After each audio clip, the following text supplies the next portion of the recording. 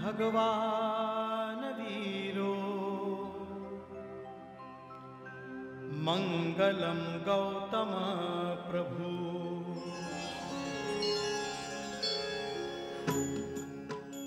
Om NaMo हरिहन्ताणम्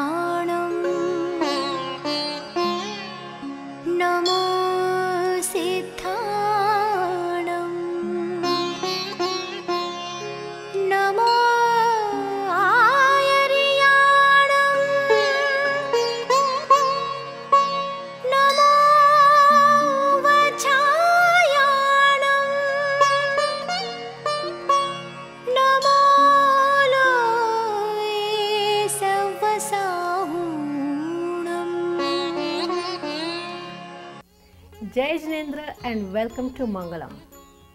Today we bring to you the third part of Bhaktamar Stotra special program. Please enjoy the show. Thank you.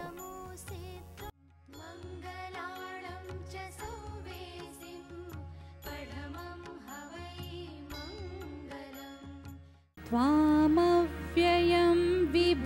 च सत्यमसङ्ख्यमादं ब्रह्माणमीश्वरमनन्तमनङ्गकेतुं योगीश्वरं विदितयोगमनेकमेकं ज्ञानस्वरूपमनं प्रवदन्ति सन्त बुद्धस्त्वमेव विबुधार्चितबुद्धिबोधा त्वं शङ्करोऽसि भुवनत्रयशङ्करत्वा धातासि धीर शिवमार्गविधे विधाना व्यक्तं त्वमेव भगवन् पुरुषोत्तमोऽसि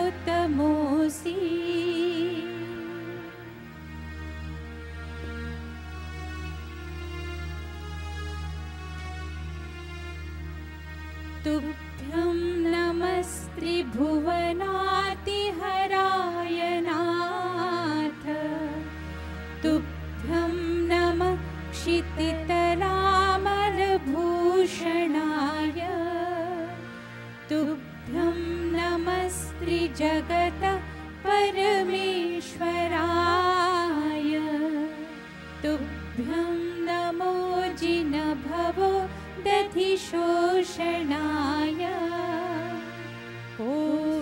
विस्मयोऽत्र यदि नाम गुणैरशेष त्वं संश्रितो निरवकाशतया मुनीश। दोषैरुपात विविधाश्रयजातगर्वै स्वप्नान्तरेऽपि न कदाचिदपेक्षितोऽसि चैरशोकतरुसंश्रितं मयूभम् आभातिरूपममरं भवतो नितान्तम्। स्पष्टो लसत्किरणमस्तदमो बिम्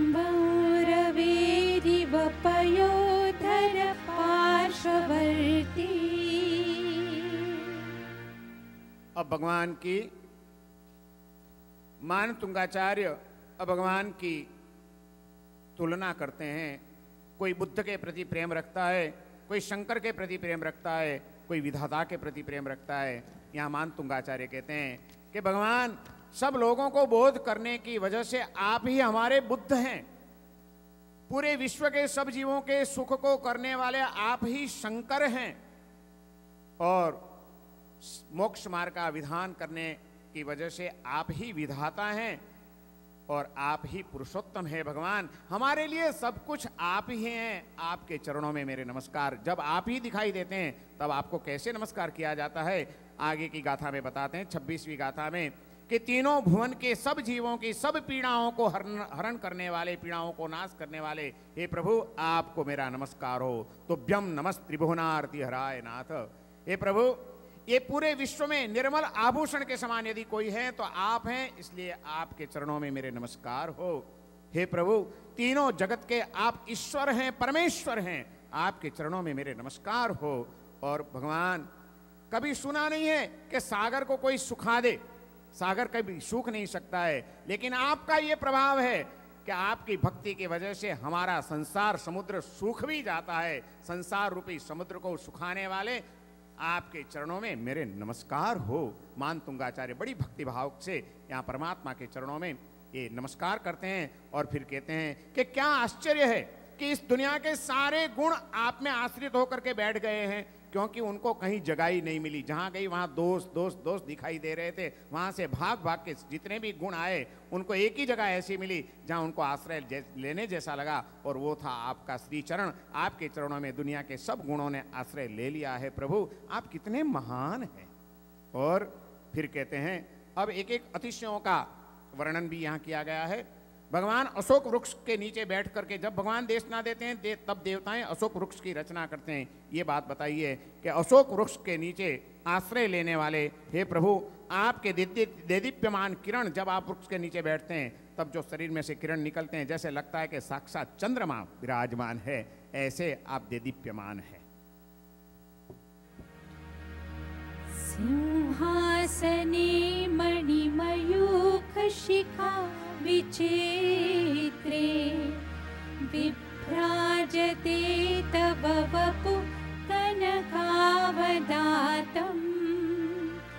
बिम्बं वियद्विलसदंशुरता वितानम् तुङ्गोदयात्रिशिरसीव सहस्ररश्मि कुन्दावदात चरचामर चारुशोभम् बिभ्राजते तव वपु कलधौतकान्तम्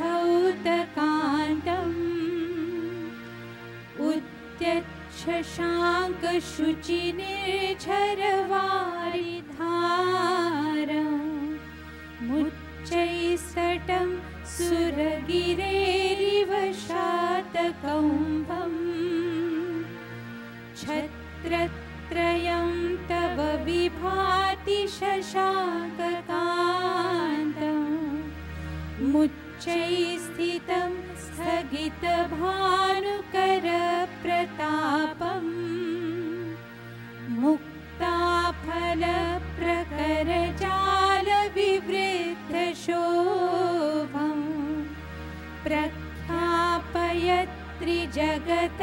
परमेश्वरत्वम्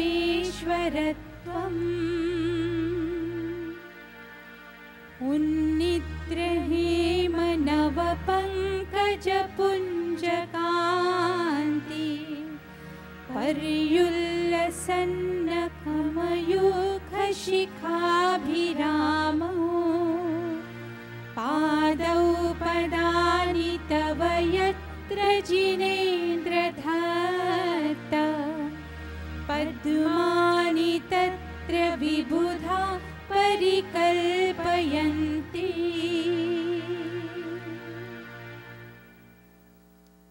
अतिशयों का वर्णन चल रहा है। देव भगवान के आगे जो अतिशय करते हैं यहाँ अभी अशोक वृक्ष के अतिशय के बाद दूसरे अतिशय की बात करते हैं कि देव सिंहासन की रचना करते हैं। भगवान का सिंहासन कैसा है? जैसे उदयाचल पर्वत के शिखर पर जब सूर्य उगता है तैसे कैस, तब कैसा प्रकाशित लगता है? प्रभु आप जब सिंहासन पर बैठे होते हैं तब ऐसे ही प्रकाशित आप दिखाई दे रहे हैं। आपका शरीर सुवर्ण की तरह कांतिमय बन जाता है। और तीसवीं गाथा में चामर देव चामर ढालते हैं। उस प्रातिहार्य का वर्णन किया है कि श्वेत चामरों से देव जिनकी सेवा कर रहे हैं, ऐसे प्रभु जब आप समोसरण में विराजमान होते हैं, तब सुवर्णमय मेरू पर्वत के शिखर ऊपर जैसे आप बैठे हैं, ऐसी शोभा आप धारण कर लेते हैं। और उसके बाद आता है छत्र त्रय का प्रातिहार्य। देव तीन छत्र की रचना करते हैं, भगवान के ऊपर यहाँ कहते हैं कि कैसे हैं आपके छत्र जिनके धार पर मोती लटक रहे हैं? ऐसा एक छत्र है। जिसके आगे चंद्र की कांति भी निस्तेज लगती है, ऐसा छत्र है। और सूर्य के जैसे किरण जिसमें से निकल रहे हैं, ऐसे तीन छत्रों आपके सर पे, हे प्रभु, शोभायमान है। ऐसी अतिशयों से युक्त प्रभु आपके चरणों में मैं नमस्कार करता हूँ। और फिर आगे का अतिशय आता है। जब भगवान विहार करते हैं तीर्थंकर प्रभु, तब देवता लोग आगे आगे सुवर्ण कमल की रचना करते हैं। प्रभु, आप जब चल रहे हैं पथ पर, तब देवता लोग जो सुवर्ण की रचना करते हैं, उन सुवर्ण की कांति से आपके पग के नाखून ऐसे चमकते हैं जैसे कोई मणि चमक रहा हो। इतनी शोभा आपके चरण धारण कर रहे हैं, ऐसे शोभायमान प्रभु के चरणों में हमारा नमस्कार। इत्थं यथा तव विभूतिरभूचिनेन्द्र। धर्मोपदेशनविधौ न तथा परस्य। यादृक्प्रभादिनकृत प्रहतान्तकारा। तादृक् कुतो विकाशिनोऽपि श्रोतन्मदा विलविलोलकपोलमूलम् अभ्रमत्रमरणादविवृथको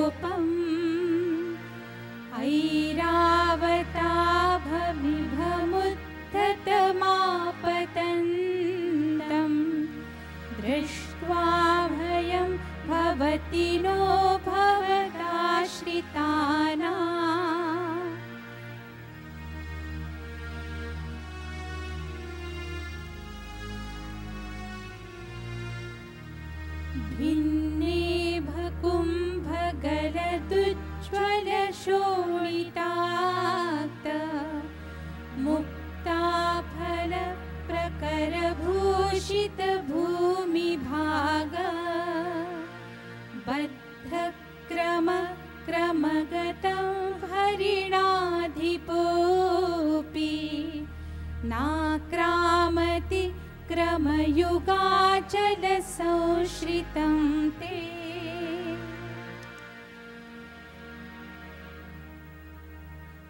कल्पान्तकालपवनोद्धवन्निकल्पं दावानलं ज्वलितमुज्ज्वलमुत्पुलिङ्गम् विश्वं जिघत् जिघत्सुमिव सम्मुखमापतन्तम्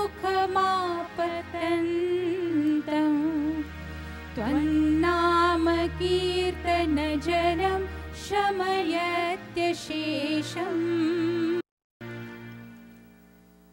अतिशयों अतिशयों से युक्त समोषण में विराजमान भगवान जब धर्म देशना देते हैं, तब उनकी देशना धर्म देशना की पद्धति भी कैसी है, इसका वर्णन अभी तैतीसवीं गाथा में किया गया है। कि प्रभु, आपकी जो धर्म देशना की विधि है, आपकी जो पद्धति है, आपकी जो आवाज़ है, आप जो मालकंस राग में प्रदेशना देते हैं, वो ऐसी एक अनोखी है कि इसके समान और किसी की भी पद्धति, किसी की भी विधि आ नहीं सकती है। जैसे ग्रह कितने भी हो, लेकिन सूर्य के आगे कोई नहीं टिक सकता है, वैसे आपकी देशना पद्धति के आगे और कोई लोगों की देशना पद्धति टिक नहीं पाती है। हे प्रभु, भगवान कैसे हैं? नमुत्थुणम सूत्र में बताया है, भगवान अभय दयाणम शरण दयाणम मग्ग दयाणम उन गुणों का आप वर्णन यहाँ मान तुंगाचार्य भी कर रहे हैं कि भगवान अभय को देने वाले हैं, जिनके गंडस्थल में से मद झर रहा है। और मद झरने से भंवरे गुंजा रहे हैं जिनके मस्तक के ऊपर, और उनके गुंजारव की आवाज़ से बड़ा क्रोधित हुआ ऐरावण हाथी, तूफ़ान करने जब जा रहा है सबको भय हो जाता है। लेकिन प्रभु, जो आपके चरण में आ जाते हैं, उनको इस दुनिया का कोई तत्व भयभीत नहीं कर सकता है, क्योंकि आप अभय को देने वाले हैं। चौतीस, पैंतीसवीं गाथा में बताते हैं कि आप जैसे अभय को देने वाले हैं, वैसे ही शरण को भी देने वाले हैं। हाथी जैसे नहीं डरा सकता है, लेकिन ऐसे हाथी के गंडस्थल को जो चीर देता है, ऐसा है विकराल सिंह। वो सिंह भी कभी दौड़ता हुआ सामने आए तो हर कोई व्यक्ति भाग जाता है। लेकिन प्रभु आपके चरणों में जिन्होंने आश्रय ले लिया है, उनके ऊपर ऐसे विकराण भावों के भी आक्रमण नहीं कर सकते हैं। वो आपके चरण में सुरक्षित हो जाते हैं, आप शरण को देने वाले हैं। और प्रभु, और तो क्या बात करूँ? प्रलय काल का पवन जब झंझावात की तरह फैलने लगे और सब जगह भय भय भय, और उसमें से आग प्रकट जाए दावानल तो उस दावानल से कौन बच सकता है? लेकिन ऐसे दुर्भावनाओं की दावानल से सुलगते हुए जीवों के लिए आपका नाम कीर्तन ये एक शांति देने वाला है। ऐसा जल है जो पूरे दावानल को शांत कर सकता है। सिर्फ़ प्रभु, आपका नाम संकीर्तन भी बहुत है। तन्नाम संकीर्तन जन्म समयत्य शेषम। सारी दावानल को समा, शांत कर देता है आपका नाम संकीर्तन।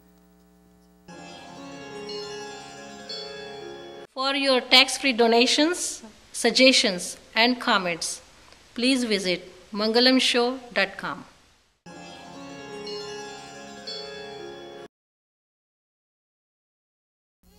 Welcome back to Mangalam. Now let's enjoy the third part of the dance drama on Bhaktamar Stotra. As you know, this dance drama was presented during the New York Jain Pratishtha Mahotsav. Please enjoy. Thank you.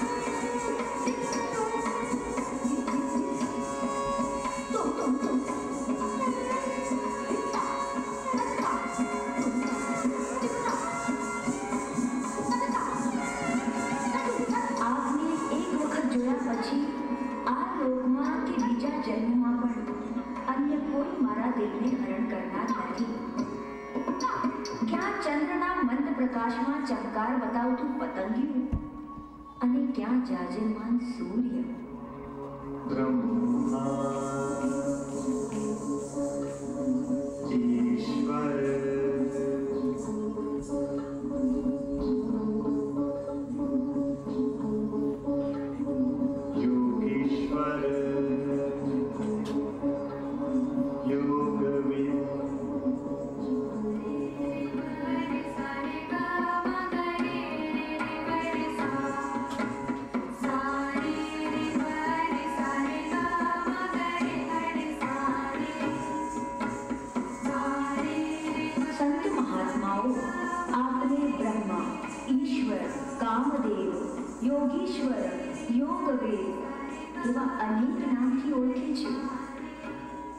એ દરેક નામના ગુણો આપનામાં પ્રગટપણે રહેલા છે.